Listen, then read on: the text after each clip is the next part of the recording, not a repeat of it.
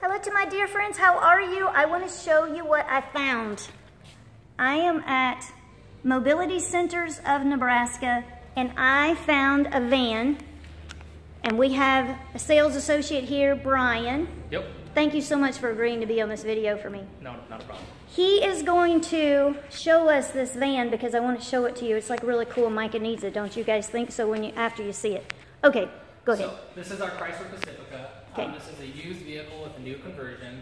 Um, it's got a in-floor ramp and a kneel system, so the vehicle actually lowers closer to the ground See it to allow for a uh, less steep of an angle.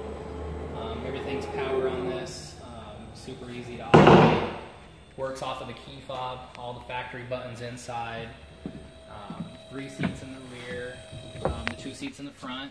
And I'm short. Both, uh, both seats in the front are removable for driver and passenger applications. Uh, the Chrysler Pacifica has a specific tool where you can actually swap the driver and passenger seats if you needed. Um, this is the Access 360, um, so you can drive in here with the power chair, do a full 360, and drive out. Um, plenty of room for um, any kind of mobility needs. Okay, now tell me, um, did we talk about this door over here when you open it? It doesn't have that that that, that lip on it, does it? No, it doesn't. So this this other door operates just like a factory one would. Okay, Um, we looked at some that had like a lip on here. out, so. But you can just step right out here and then you're so this is how this one is on this side. That's better than the one with the lip on it, don't you think? Yes. It's a lot easier. I'm short and my feet don't even touch the ground on this, but they have a little step. It's not a step that you step on, but when you get in here, you can put your feet on it. Guys, Micah has never in her 29 years been able to sit in the front seat and be able to see outside the window. And to think that she could sit in the front seat of this car and be able to see everything outside would be so cool because she's really limited. And right now, when we're walking her up in the van, she definitely can't see because there's just no visibility where she is, and she doesn't, you know, she's shorter. I'm 5'1, and Micah is a few inches shorter than me. And it's just, and, and she kind of, you know, slumps down in the seats in front of her, and she just can't really see very much. So if she was sitting right sorry, that's hanging off my, that pink thing's hanging off my phone. If she was sitting right here, then she could see everything, just like most of you probably see when you're sitting in a car, in a car. And that would just be so cool. Okay, so we're gonna walk out here. Okay. Anything else we need to know about this one? I think that pretty much covers it. Okay, that pretty much, I like the way it lowers, it's automatic, and the door over there doesn't have, a we've looked at a few, but I think this is what we would probably like the most for functionality.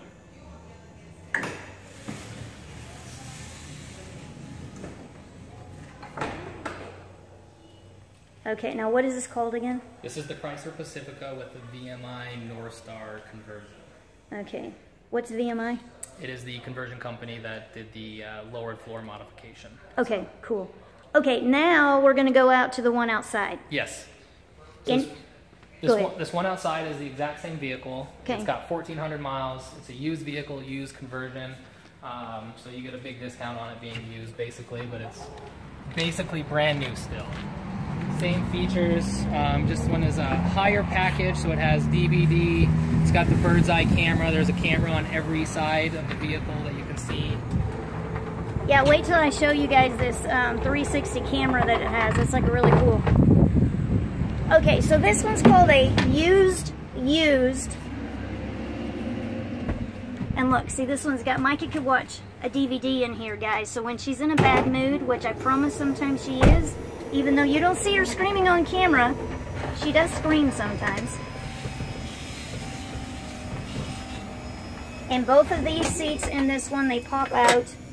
And this is a special easy lock where Micah could, sorry about that, where Micah can just drive straight into this, straight, and then she would be able to turn her chair around where she is looking forward And there are no tie downs if we did something like that. Now, wouldn't that be cool?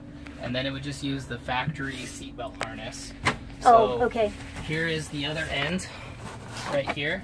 So what you do is she would be sitting right here. You Okay. have this, and you would just grab this seatbelt right around, so she still is buckled in. The chair's secured, so in case of an incident, So no does one that goes anywhere. does that like go around her waist? It goes around just like you would be sitting in your uh, sitting in one of these chairs. Oh, really? Yep, still a shoulder lap uh, harness. Oh, that is so cool. Yep, so all the same feet safety. Okay. Okay, now watch this, guys. So it's got the backup camera and then this bird eye. So you get the top view of your vehicle and then all of the sides. You can see we're parked next to a little bit of uh, gravel. There's a giant boulder in the front and clear on the other sides. And you can swap between all the cameras.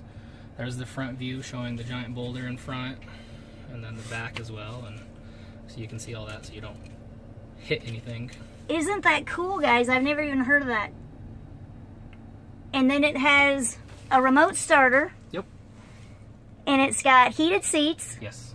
And it's got a heated steering wheel. Has anybody ever heard of a st- heated steering wheel? Because I have not. Oh, there it is. Because I have not.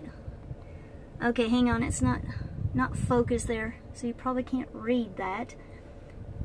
Sorry about that, guys. So That is really really cool. So this one, whoops.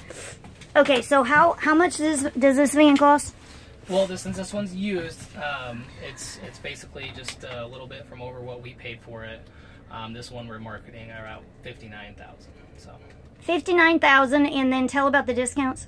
um, so VMI, um, the conversion company, they have a bunch of their own discounts, um, and I guess money back to uh, consumers.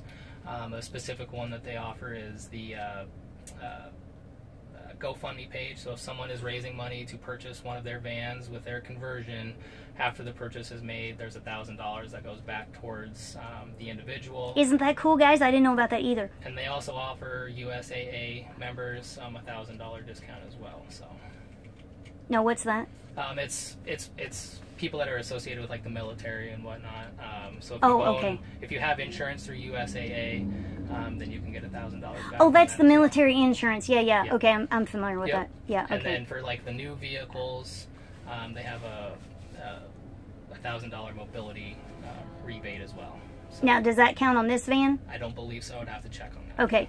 Now, tell about the ATP. Um, Now, that's a, assistive. Technology partnership. Okay.